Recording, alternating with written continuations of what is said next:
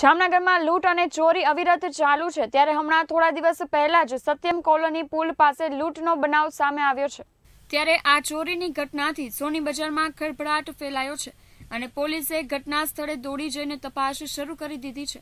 તેમજ પ્રાપ્ત માહિતી મુજબ જામનગરના ચાંદી બજાર વિસ્તારમાં આવેલ મતવા શેરીમાં બોમ્બે રિફાઇનરી નામની સોનીની દુકાનમાં મંગળવારે રાત્રિના સમયે છાપરું તોડીને તસ્કરો ત્રાટક્યા હતા અને તસ્કરોએ દુકાનમાંથી રૂપિયા પંદર લાખની બત્રીસ કિલો ચાંદીનો મુદ્દામાલ ઉઠાવી ગયા હોવાનું જાણવા મળ્યું છે. ત્યારે આ બનાવની જાણ થતાં સોના ચાંદીનો વ્યવસાય કરતા વેપારીએ પોલીસ ફરિયાદ કરી હતી. ત્યારબાદ જામનગર સિટી એ ડિવિઝન અને એલસીબી ટીમનો કાફલો ઘટના સ્થળે દોડી ગયો હતો અને પોલીસે તસ્કરોને ઝડપી લેવા માટે સીસીટીવી કેમેરા ફૂટેજના આધારે વધુ તપાસ હાથ ધરી છે.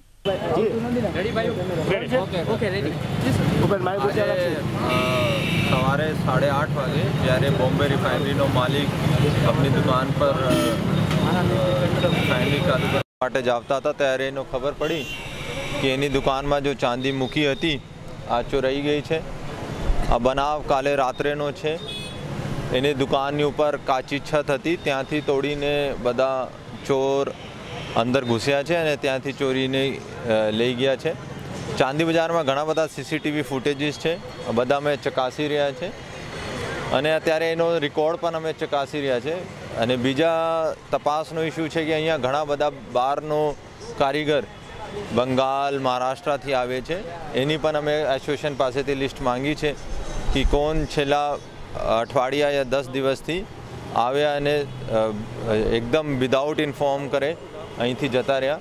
બધા તપાસમાં અમારી એલસીબી એસઓજી સ્થાનિક પીઆઈ બધા તપાસી રહ્યા છે અને આ વખતે પણ અમે ઉમ્મીદ છે કે અમે ટૂંક સમયમાં એનું ડિટેક્ટ કરી લેશું. અત્યારે એનો રેકોર્ડ નથી, પર આ ચેક કરે છે અમને. રેકોર્ડ પ્રમાણે અંદાજિત દસથી બાર કિલો કહે છે.